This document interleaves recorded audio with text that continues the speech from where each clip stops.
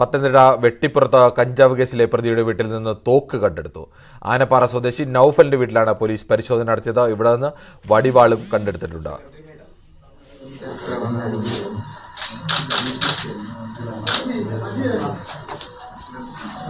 പത്തനംതിട്ട വെട്ടിപ്പുറത്താണ് സംഭവം ഉണ്ടായത്. കഞ്ചാവ് കേസിലെ പ്രതിയുടെ വീട്ടിൽ നിന്നാണ് തോക്കും വടിവാളും പോലീസ് കണ്ടെത്തത് കണ്ടെടുത്തത്.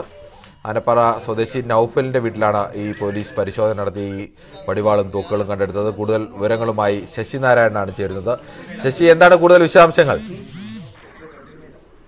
കിരൺ നിരവധി കഞ്ചാവ് കേസുകളിലും അതുപോലെ തന്നെ കൊലപാതക കേസ് പ്രതിയായ പത്തനംതിട്ട സ്വദേശിയായ നൌഫലിന്റെ വീട്ടിൽ നിന്നാണ് ഇപ്പോൾ പോലീസ് അതുപോലെ തന്നെ വടിവാളും പണവും അടക്കം കണ്ടെത്തിയിരിക്കുന്നത്.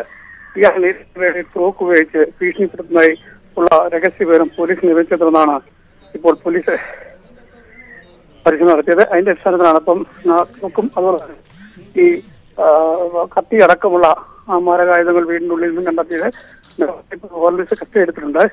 തമിഴ്നാട്ടിൽ നടന്ന കൊലപാതകവുമായി ബന്ധപ്പെട്ടും നഴ്സുകളുടെ ബന്ധമുണ്ട്. തമിഴ്നാട്ടിൽ നടന്ന കൊലപാതകത്തിൽ നാലാം പ്രതിയാണ് ഇയാൾ. ഇയാൾക്കെതിരെ നേരത്തെയും വിധത്തിൽ പരാതി ഉണ്ടായിരുന്നു. ഈ സ്ഥലത്ത് ഇയാൾ തോക്ക് ഉപയോഗിച്ച് നാട്ടുകാരെ ഭീഷണിപ്പെടുത്തുന്നുള്ള കാര്യം കൂടി ഉണ്ടായിരുന്നു.